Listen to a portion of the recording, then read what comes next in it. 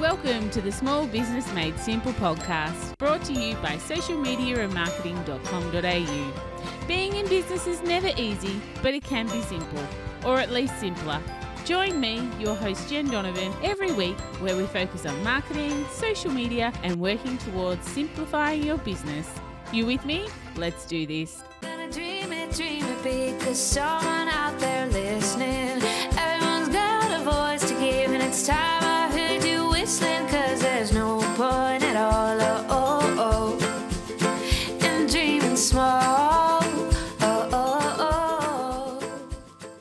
Why, hey there, my fabulous listener. Welcome to episode 225 of the Small Business Made Simple podcast. Thank you, as always, for lending me your ears today, and thanks for coming back to listen to this episode. I really appreciate you making my podcast your choice to listen to right now. If you are enjoying this podcast, though, I would really love to get to know you a little bit better. And one of the quickest ways for us to do that is for you to take a screenshot and share it on your socials and tag me. That would be super, super cool. And don't forget, you can find the show notes for this particular podcast episode at all the W's social media and marketing.com.au slash 225. Now, just before I get into today's episode, and we have, oh, we have, I have an amazing guest for you, Therese Tarlinton, and she's going to talk to us all about partnerships and collaborations. But I really was just wondering did you listen to last week's episode around word of the year? I've had so many people come to me and say, This is my word of the year, this is my word of the year. And I have been truly amazed and very, very inspired by some other people's words. So, not only would I recommend that you head back and listen to episode 224, all about word of the year, but pop into my Facebook group, Like Minded Business Owners, and have a look at what other people have chosen for their words if you need some inspiration. Anyway, on to today's episode. Like I mentioned just before, I have a great guest on today for you. Her name is Therese Tarlinton, and this is the first um, guest for 2023. So I'm super excited that it's such an amazing episode to start our guesting podcasts off for 2023. Therese is a serial startup, a speaker, an author, and heck of an expert when it comes to partnerships and collaborations, which of course is what she's chatting to us today about. Different types of collaborations, what they are, examples of how they work, and examples of one that have worked really well to inspire you to think outside your marketing box so early on this year. If your marketing budget is low, or if you're looking to extend your audience into other audiences, or if you just want to create something truly amazing and different in 2023, then think partnerships and listen up to this episode. I cannot stress the amount of gold that is in this podcast. So, anyway, I'm not going to talk anymore. Well, actually, I am, but just with Therese. So, here's Therese with all her amazingness. Enjoy. I am so stoked to have you on the podcast today, Therese. It's just, I've watched you on social media for so long. We've been friends on social for so long. Now we get to talk face to face. So, welcome to the podcast. Oh, Jenn, I'm so excited to be here. Yes, I have also been one of your groupies and following your amazing journey um, and your avid podcast listener. So I'm so excited to be here. And I, I really want this to be so great for your listeners and they get to take away heaps of really great ideas. Uh, and they will. They will. I have very little doubt about that. But maybe for my amazing listener who would like to know more about you or maybe hasn't even come across you as yet, can you tell us a little bit about who you are and what you do? I would love to. So uh, I'm Therese Tarlinton. Uh, if you can spell my name, you can find me. I'm the only Therese Tarlinton in the world, which is very lucky. And so I am, I will say, like I'm a, you know, I'm a serial startup. Uh, so I have started up multiple businesses over my career, and then I've also worked with some, you know, really huge brands that reel me in for some amazing projects. So um, I am a speaker. I am an author, which I'm super proud of. Uh, of my book is called Swap: Marketing Without Money, uh, and I am a business and incubator advisor. Wow. And can we just say that Swap won Book of the Year just a little while ago? Can you tell us a little bit about that? We need to start there. Oh my gosh. Well, this is so if you know me at all, you'll know that that I am a um super excitable, oversharer, over, you know, passionate, crazy person. And um, and so there was a book award and it actually and they went through, you know, the categories. So best autobiography, you know, best small business book, best marketing book, you know, best pers- uh, you know, personal development book, all this kind of thing. So I had obviously uh, applied or um, you know got tried to get the marketing book yeah, and so when they announced marketing book they announced somebody else so i was like all good not my time totally fine all good i think i'll just go back to my glass of wine at the beautiful you know crown crown hotel in melbourne living the life having a good time and then they and then they said okay now everyone be upstanding and we're going to announce the 2022 book of the year wasn't even really paying attention. Um, and so, but my friend was actually filming. So we have terribly good or terribly bad evidence of this. So when they said the winner is Therese Tarlinton, I threw up my arms and then ran to the stage, Price is Right style, like literally kind of screaming, high fiving people along the way, bounded onto the stage, did a few kind of little, you know, side steps, like dancing of excitement, um, and was just so over the top because I, I just couldn't believe it. There was yeah. so many authors there who had written five, six, seven, eight books. This was my first book. Um, it, it is a very simple book in terms of it. it's a really simple guide for how to do partnerships. So I couldn't, I couldn't believe it. I was so excited. And actually, the MC um, of the event talked to me afterwards and he said, Do you know what? If there was an award for best reaction to ever winning an award, you probably would have got oh it. God, double winner. But I, I can see how you would be so surprised. And I know that we've got other things to talk about on the podcast today. But normally, Book of the Year is chosen out of the winners isn't it? Totally. So I can That's... see how you'd be like, I'm done you know, yeah. bring me more wine type of thing, because it's very unusual that the winner of Book of the Year or anything of the year isn't cho- chosen from the other winners. So that's awesome.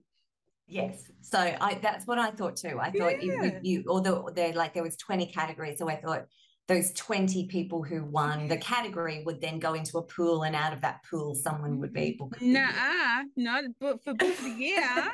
Not so so your book of the year called Swap was about partnerships. So that's what I wanted to chat to you about because I really feel that partnerships and collaborations are a marketing strategy that perhaps small business owners don't tap into and yet can be some of the most seriously powerful and profitable things to do in your business. So can you just start us off with what is a partnership? Why should we even be thinking about them? Absolutely. So partnerships are, I think some people think that a partnership is like influencer marketing. It's when you get someone with a a great audience who promotes a product for you. But partnership marketing, uh, you know, I've been in marketing for more than 20 years, since the 90s, and partnership marketing was was around back then.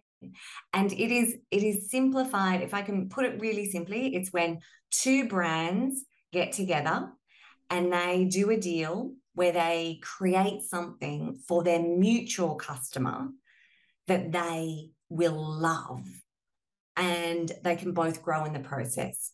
So, partnerships are about extending your reach into your ideal audience, a big group, thousands of people who you would love to have as your customers. It's about increasing your credibility in your industry um, to your audience, increasing your brand credibility. And it's also about the, your profitability because your ability to be different, stand out, have something unique makes you not a commodity. You know, it's, it makes you stand out from the next company. So they're the they're the really, you know, that's the, the core benefits of actually doing partnerships with other brands. Yeah, and I think one of the things that really stuck out in that the conversation um, that you just had said was mutual customers. Yes. So these people have the same customer as you, ideal customer as you, but aren't necessarily your competitors.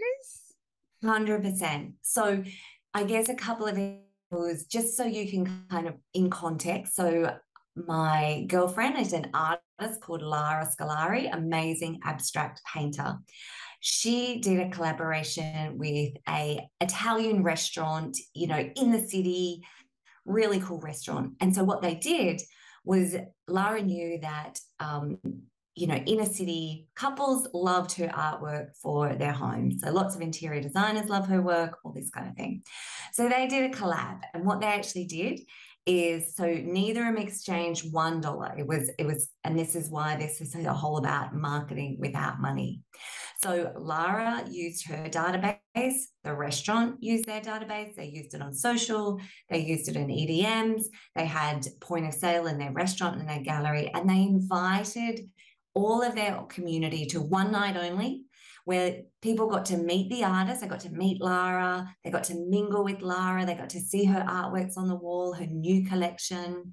The, the, the chef was so inspired by Lara's artwork that he created a signature dish that you could only get on that one night. Wow. So they bought in their mutual customers for them to have an experience that they, they couldn't get on any other night. And so the result of that was that Lara sold a lot of her beautiful art to people that hadn't been exposed to her paintings before. And the restaurant got a whole new group of people who promised that they were going to be regulars because they absolutely loved his food. Yeah. Yeah. Beautiful. Like that's yeah. It's um it seems so simple when you give examples like that, but it's just so incredible because those people that came to the restaurant won't just come once they'll possibly tell their friends and family um, and also you know the painting people will go to people's houses and businesses and see the painting so this has longevity even though perhaps it was just one night. Um, i know in my retail business that i used to have um, we had a vip night um, around christmas time and that was the second biggest day of the year for us and it was only three hours. The only day that outdid it was Christmas Eve, basically, when people walk through the door, throw money and say, I need something for Christmas, please hurry, can you wrap it? Um, you know, but yeah. other than that, because we shared databases, we we shared customers. There was customers came out, there was only 10 shops to go to. They all had time to go. We put on food, we put on drink, and then hopefully those customers became my customers, even though they may not have been in a shop before. So partnerships and collaborations is something I'm very passionate about. But what sort of different types are there? There are different types of partnerships. Yeah, and, and so absolutely. before we get to that, is collaboration and partnership used interchangeably or are they slightly different? Good question. Okay, so so absolutely a partnership and a collaboration really are the and are an interchangeable word. The however, I guess there's different levels. So a a collaboration is can be really informal and can actually be just something really great, like actually swapping content. So, you know, hey, I'm going to write an article. Um, and if you can put it on your website and I'll put it in my DEDM, you know, and we'll have a co branded article. So it can be something really, really simple. Partnerships can also be where you create a co branded product. And so a the term is interchangeable but if you were doing something that in that required a lot more investment in terms of maybe there was tooling maybe there was a production run you know all these kinds of things then then that kind of is i guess a little bit more of a partnership where you you would maybe or you would get a little bit of legal advice on just how to structure that. Um, but most collaborations are super simple very generous, very fun, and just a way to work with another small business owner where you get to put your two heads together and come up with something just really irresistible, really, you know, like more exciting, more chat worthy, you know, more shareable, like just something that actually makes you different and stand out. And but as I said, it's about having fun. You know, being in business is sometimes super lonely. Um, and so just just working with another business and doing something fun is is just more enjoyable. Yeah, absolutely. But how do you find that right person? For anyone listening, going, you know what, Therese, this sounds great. I can see from the examples how I could make it work in my business. But how do you find the right person? And and do they have to be on the same playing field as you, like the same level, or can you level up and maybe get a bigger brand to do a partnership with you? Yeah, great idea. So, so I guess just going back to literally your question around like, you know, what types, and that will kind of describe almost who you can work with, who your ideal partners would be. So, so the first type of partnership is where you use your product or your service. So that could be, uh, you may have seen that uh, Go To Skincare, so Zoe Foster Blake and Four Pillars Gin did a collaboration called the Go, the new Go To Gin. So, and they had a limited run of this beautiful peach colored, peach flavored on brand for Zoe mm-hmm. uh, gin, and they used it to, to go out. So that's where they use their product. So just the example with with Lara and the restaurant, again, that was about that was about a product. She used her product in that collaboration. And so there in terms of how do you find your ideal partner there's probably people already that you are partnering with very informally where your customers are actually asking you. So as a um, you know as a builder if you're a builder that your customer might ask you if you know a plumber. You know as a as a stylist or someone that was actually in the fashion industry, they might ask you which brand of clothes that you think that they should buy for their body type and everything else. So so some of them are super super simple and you're already doing them and then this is just a, a way to actually formalize it a little bit more. The, mm. the second type is where you use your brand or your knowledge to create like a digital partnership. So, this would be where you could create an article, a podcast, you could create a checklist. So, you actually use the, the knowledge that you have and to actually do a, a you know a digital swap. And the third type is where you actually create an in person event.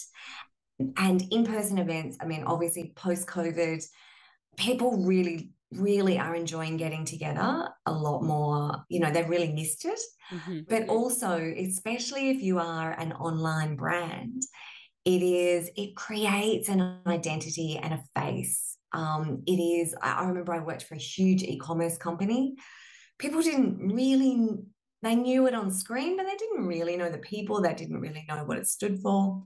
So we exhibited at you know the home show and we you know we signed up people with kind of a, a, you know voucher and those people went on to spend you know another three million dollars on the website.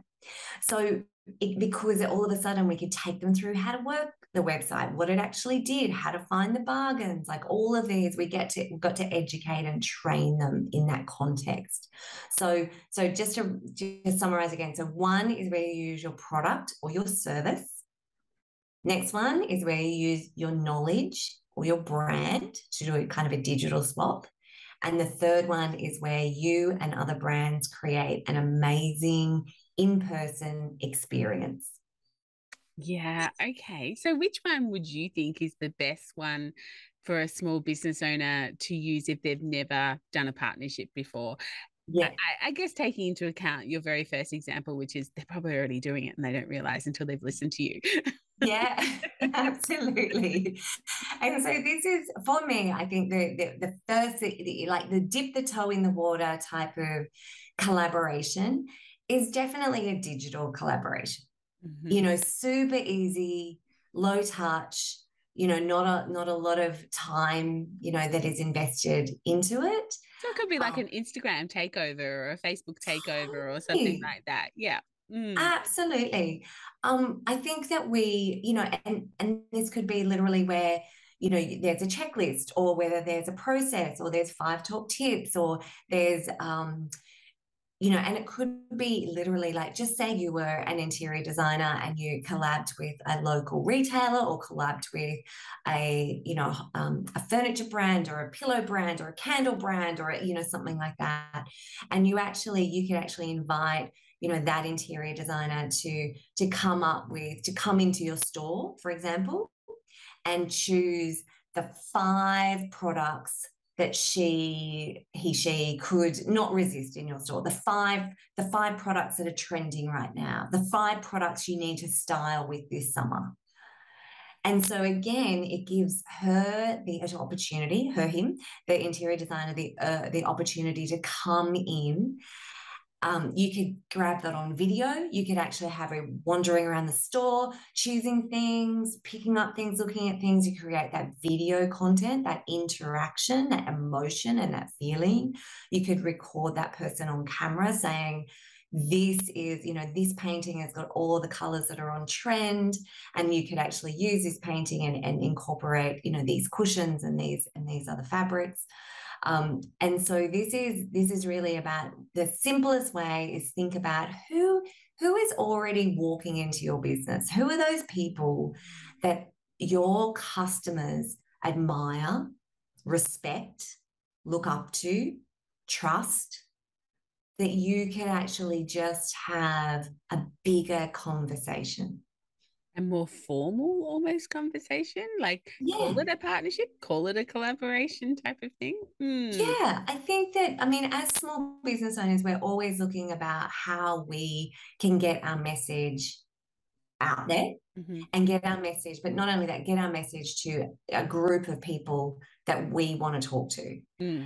so and you know as i said like this is about this is about mutual like your mutual customer so these are not your competitors they're they're your collaborators. So i i saw for example a great and these were all single person brands so solo entrepreneurs.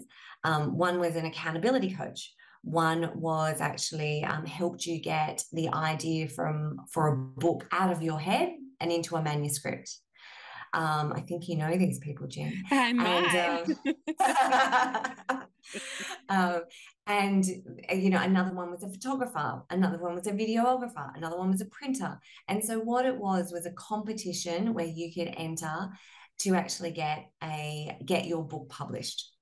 Now, all of those people were targeting authors or mm-hmm. potential authors, people who wanted to write a book, people who are in the process of wanting to become an author. So all of those individual businesses got to collaborate. They created the competition and they had a database of people that all needed their products. Now that videographer didn't compete with the accountability coach. Mm. And so, and now that that was a competition. That could have also been a two day off-site weekend event in you know in the hunter valley or on the gold coast. That could have also been a whole podcast series. Mm. that could have been a whole content series a youtube series where all of them actually contributed what their steps would be with their customers to actually get them their you know their ideal goal. So really simply it's about who who has your same customer so, who has your same customer, but they don't compete?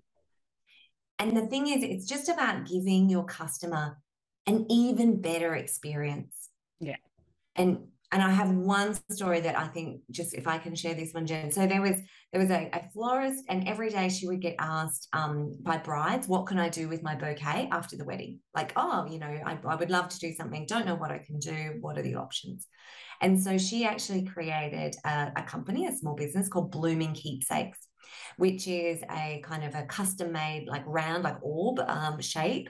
And she puts uh, elements of your bouquet in that orb. Now that bouquet could have also been um, your when you had your first baby it could be when you made your first million dollars it could be in your 50th birthday it could have been you know it could have been the flowers from your grandmother's garden with her brooch. You know it mm-hmm. could have been lots of things. But the thing is she created that next step like that mm. what can i mm. do with my bouquet after the wedding so she created a solution she now partners with hundreds and hundreds of florists around the country the florist has a better chance of actually getting that customer by actually saying, what we're going to do is we're going to create a beautiful bouquet for your special day. And then we're going to take that bouquet, we're going to send it to our partner, Blooming Keepsakes, and they're going to like create it so you've got it forever. Now, as a customer, that's just helped me. That's just made my experience even better than I expected.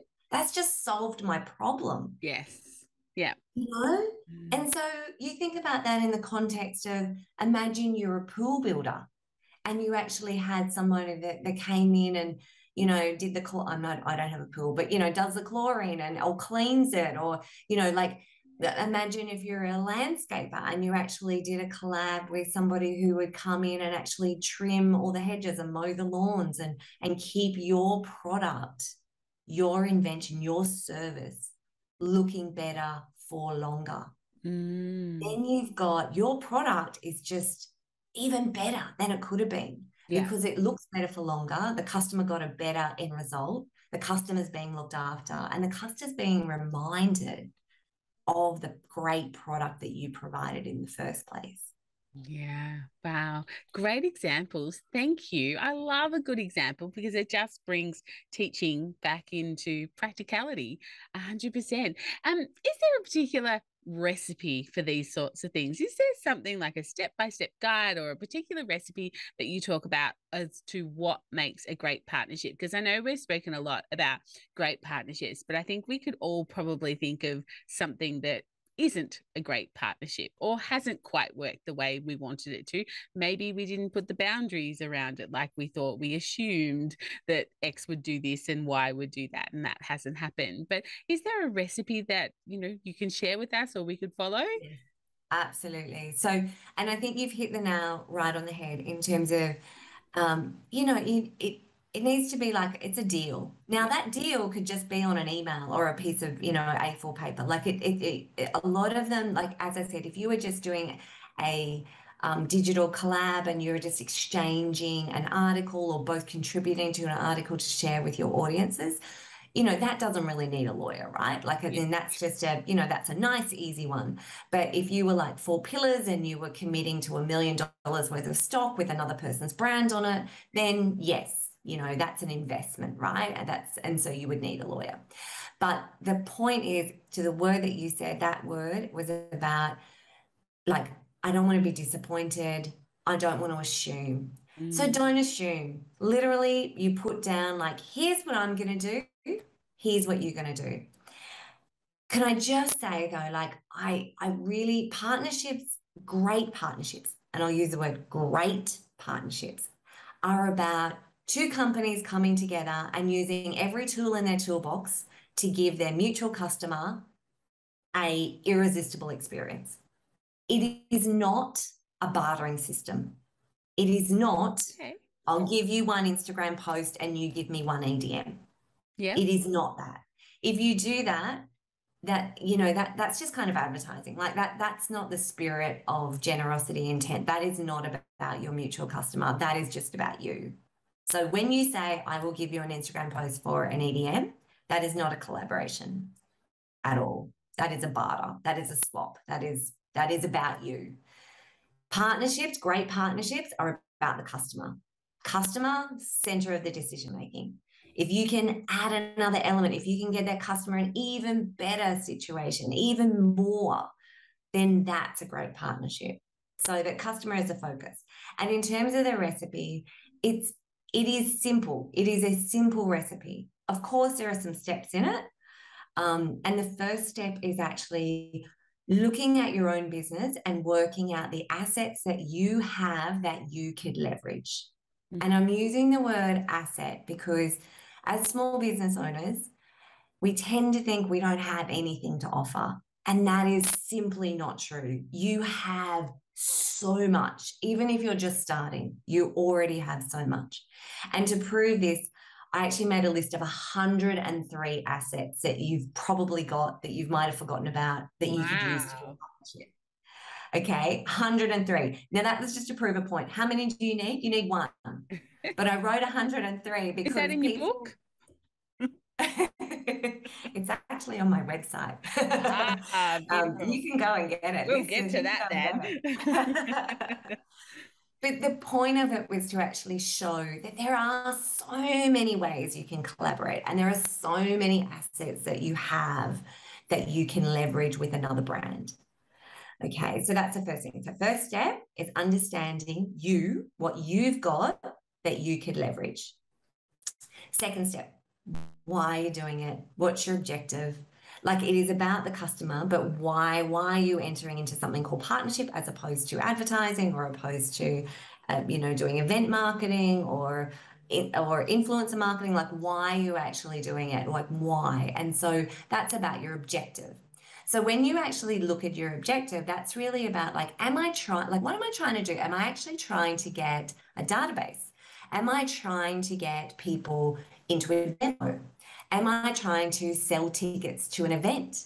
Am I trying to, um, you know, uh, get seasonal sales? Like uh, it's all about summer for me. I get 80% of my sales in summer. It's all about sales for summer. Like what, why? Why are you doing it? What's the objective? The third one is actually, and, and it sounds super simple, but it's about finding the right partner and pitching the right idea. I think that sounds like the hardest bit. Yes, of course. And and so for this, this is where I say, like, who are you already talking to? Who do you naturally already start talking about? Like, if your customer rings you, uh, so for example, I have uh, a friend who has a beautiful bespoke furniture company. Uh, it's called TH Brown. They make beautiful, exquisite furniture. It, it has leather, they are like bar stools. She has leather on her bar stools. She gets asked by her customers all the time, how do I keep the leather looking good? How do I clean the leather? So where so she's now talking to like uh, furniture cleaners and um, leather product companies who actually because they have something that her customers need and if she can give her customers the answer and provide a solution to keeping her stools looking better for longer then it makes her product look better and she gets a happy customer okay? So so pitch like who is your right partner? And your partners are the people you already gravitate towards. They are the people that you already recommend. They are the people that have your mutual customer. They are your ideal partners. And just like you know couch to 5k start small like literally like just do like do a digital collab and that's why i say like pitch the right idea so mm-hmm. just go to them and say, Hey, I've got an idea. Like, I'm the pool builder, you know, there's a pool cleaner. Say, Hey, I've got an idea. Why don't we actually do something together so you can keep all the pools that I build looking better for longer? And so we'll we'll contact the customer, we'll give them a great experience together, and then we can just keep rolling it out. And again, that could be a deal that was actually just, you know, on a one on one piece of paper, and it could be a, a no cost deal. It, you know, it could also be an affiliate deal. So, you know, you actually say, if I bring you on and you, you know, mow their lawn or clean their pool for two years, then you're going to give me a certain percentage of sale or something like that. Or it could just be, okay, every time you're at someone's house and they say the word pool builder, I'm not going to get a pool, you say my name. And every time that you know, like I'm, um, you know, I, I'm, I'm Mr. Pool Builder, I'm building a pool. I'm going to say your name.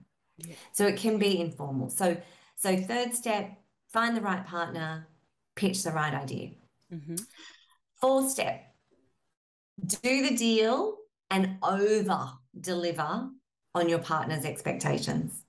And I say that from a point of generosity. Like if you said, I'm going to create five photos, but you actually took 55 photos, um, you know, to get the five great photos, give them more than five photos. you know, like it, it, it's not a big deal, right? Like just say you you were like, I'm just gonna I'm gonna do three posts, but it's doing really well. Do four or five posts. Like the whole point of it is you want the customer to have a great experience. Like just be generous.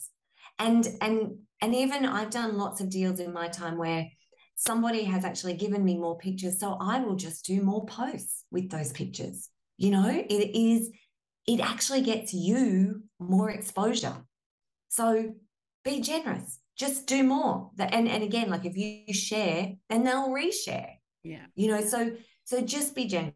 So over deliver on their expectations. The the fifth one is to actually um, extend extend your deal. So this is when you know this shouldn't be a secret. Tell your retailers, tell your stockists that you're doing a collab with the furniture cleaner to keep your furniture looking amazing. And now there's a five step guide on your website that they can download. You know, you're you're at an expo and you're going to have a stockist list with their name on it, and you're going to point people to it. Share it with media. Share it with your industry. Industry associations have they don't have much news. They'd actually love to hear your news. Yeah. They'd love to hear what you're doing. They love people being a little bit outside the box and creative and doing more and giving people great ideas. So, fifth step, share, share your great collaboration with your industry, your media, and with stockers. And the last step is usually, and I will say this is in my 20 years, this happens time and time and time and time and time again. People collaborate, they go, that was so fun. See you later. no, no, no, no. That's like, this is like the best bit. So you will know the stats, the metrics, the comments, the buzz, like put all of that in a in a I call it like a success report. Mm-hmm. Like wrap it all up with a nice bow and kind of go, this is what we did, right? Like this is amazing stuff that we did together. We got this many customers. They've done this many Google reviews. They on their on their comments. We've actually had an idea for a new product. Mm. You know, because they told us, they asked us questions. Yeah. Um, so wrap it all up in a success report and actually ask the other company, what was the success for you? What did you see? What did you feel? What were your comments?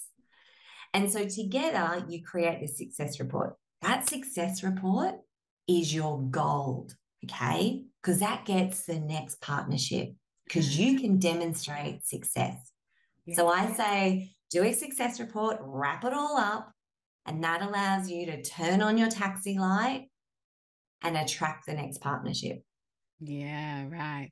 That's so got that yeah, that's enormous goal just there. And it reminds me of, um, you know, winning awards and, you know, having them all in a Google Doc, you know, all these things. So, you, you know, you can use them in the next uh, application that you put in for an award or something. And this is very similar, you know, keep those assets. And I, I love the way you, you know, you talk about comments and things like that, because sometimes we read a comment and we move on. That might be one of the best comments, but screenshot it, put it somewhere, put it in your, I don't know, in your notes in your phone or in a particular place in your photos if that's you know if you operate mainly from a phone. So you don't forget the gold that's out there.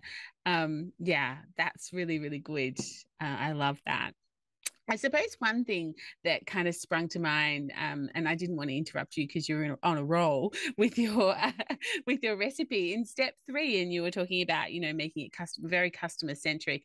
One of the things I guess is um, you know if it's not an exchange for EDM for three social posts, then I guess you've got to make sure that the person um, is the right fit for you, but it kind of aligns with your values as well. Because yeah. if they are, you know, uh, you know, tit for tat, so to speak, then maybe it's not quite the right thing because then you went on to talk about being overly generous. So you're making sure that that partnership has an alignment in the business values as well.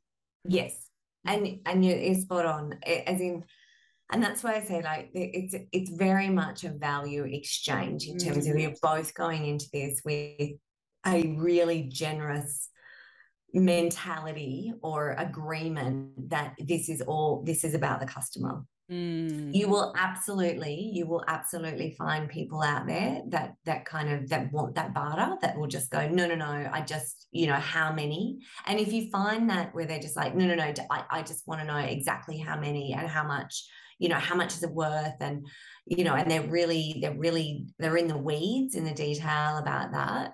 Um you know then i would say like you know maybe it's not the right it's it's probably not the right one but if you're already kind of in in deep then then just do a digital exchange just try an article just and, and kind of not exit out but kind of go actually what i was thinking is let's try one thing first Mm, so it's not a red flag; it's more of a beige sort of flag for you. Totally. It's it's one of those things, and sometimes people are just, you know, um, skeptical or or a little bit scared of doing it, or maybe they've had a bad experience. Or maybe And they they've haven't been- listened to this podcast and worked out, you know, what the goodness is. Absolutely. But and I think as well, if you show up, like if you if you're if you go to someone and you're like, I need your help, can you help me? You know, um, Mm, can you put my brand in your email? I want to grow. and that's all about them. yes. You know, it's nothing about you, and it's definitely not about the customer. Mm, So it is about like, and it is so when you're when you're pitching, and I and I use that word, but so what I do, I just have like creative conversations. I just have great chats with people. And and the whole point is it's like, as I said, this is not about you, this is about your customer. So so it's like, what do you do that really that lights you up? What do you do that works? Like I do this to work. What do you do? And and you actually just work out what's your yin to their yang. Where are they really strong? But that they might be, you know, hey, I've got this amazing social following, um, but you know, I'm I'm I can't do a podcast, or you know, I don't have a podcast, or uh, or I'm not great at events, or you know, I find it really difficult to, you know, to talk on camera, or you know, like something that. So, what's their what's their strength and what's their struggle? mhm. and then and you have your strength and your, your struggle and so you find your yin and your yang you find where you can actually be a great amazing contributor and supporter and friend to another business um, by working together Yeah. Very good. This has Yeah. been such a great chat. I've loved, I like I said at the very start, I'm very much an advocate for collaborations and partnerships, but I've just loved how you've uh, gave us a step-by-step guide and really uh, showed us what the value is for the customer, but also, you know, the fact that there's got to be something in it for both parties as well. There's got to be profit or growth or something in it, um, even though it is all about the customer. So if someone wants to get in contact, if you've said something Therese and people are like, oh my goodness, I really need to talk to this lady, um, or buy her book, um, whereabouts, where's the best place to get in contact? Absolutely. So my name is my website. So just theresetarlinton.com. And from that website, everything else goes from there. Uh, the book is available on Amazon, on Kindle, and through Booktopia. Uh, and if you're outside Australia, uh, it's at Barnes and Noble, Walmart, and Target in the USA. Um, and I, I am also doing, you know, a lot of a lot of marketing boot camps, uh, a lot of webinars, um, and I do a lot of mentoring as well. So please reach out and see, you know, how I can help you. Um, and I, my favorite playground is LinkedIn. Um, so always just connect with me on LinkedIn and just, you know, send me a message, ask me a question. I'm super happy to answer. Beautiful. I will have all those links in the show notes. Is there anything that we haven't covered that you wanted to cover just before we chuff off to the rest of our days? No, I would say, look, don't be don't be scared. Like literally, just just start. You know, most of most people are very generous and will be super flattered that you chose their company above all the other companies to actually reach out and want to want to partner with them and do something amazing. So, you know, don't don't be scared. And like imagine if you actually got an email from somebody today that said, "Do you know what? I've been recommending your business for the last 3 years. You know, I love what you do and I'm I've got an idea of how we could work together." Like you'd be you'd be Yeah. interested, right? Like you'd be you'd be I mean, I'd be proud. Like I'd be like, "Wow, that's so cool." So Absolutely. I look forward to that email, anyone who's listening. exactly so that's the thing it's like you know and and so you know I, like i'm reaching out to people at the moment and i'm saying hey i love doing you know boot camps and workshops and being in front of people and helping people with their marketing and and you'll find like and then there's other people in other areas of marketing like specialists like seo you know or pr and they're going oh hey would you like to collab and do you know a day a, a whole day where we could do something together and i'm like absolutely i would love to do that you know? So Yeah. this is it is just more fun together. Like imagine you were doing a roadshow and you know, whatever. I'd you know, Jenn, I'd much rather do a roadshow with you, you know, than hanging out in my hotel, you know, by myself. But also about like imagine what two two amazing minds put together. Imagine the sparks, imagine the ideas, imagine what we could do. And so just give that context to you and your company in terms of imagine what you could do with another business to create something that's just super special for your customer that will make you you know memorable and and and give you a, a competitive advantage Yeah. Yeah. Beautiful. I can't thank you enough. You've just given so much gold. This has been a brilliant conversation. Um, so thank you so much for coming on the podcast today. oh it's absolutely my pleasure thank you jenn Pleasure. How fantastic was that? Did it inspire you to think outside the marketing box? Take a look around at your business friends and your business acquaintances. Um, you know, who would be a really great person that's already in your world to do a collaboration or a partnership with? Who has an audience that is like yours but isn't your competitor that you could do something truly amazing with in 2023? Or it doesn't even have to be truly amazing. Well, maybe it always needs to be truly amazing, but not truly amazing as in a huge project. It could be a small project that moves the needle in your business a little bit just to help you reach your goals in 2023. The best way to get a collaboration or a partnership off the ground what is that? You might be asking. Well, just like Therese said in the podcast, it's to ask. I'm sorry, it's just so simple. But if you think Mary or Jonathan would be a really great person to collaborate with, but you're not sure if they might think the same thing about you, well, there's only one way to find out, and that is to actually ask. I've been blown away over the years, the people that have reached out to do a partnership with me. I thought there would be no way that my business would be on their radar, but it has been. And honestly, when I've asked, I've never ever been told no to a partnership or a collaboration. I've been told not now. This isn't the right time for us, as in they might be too busy or have other projects on the go, but it's never been a no. So please don't be nervous. If you think this can help move the needle in your business, then do it in 2023. Of course, there's some great advice in this podcast. So maybe if this is something you're truly thinking about for 2023, maybe you need to listen again and just take some notes along the way as well. Partnerships and collaborations are brilliant, and you will definitely see me doing more of them in 2023 as part of my marketing strategies. So, watch this space.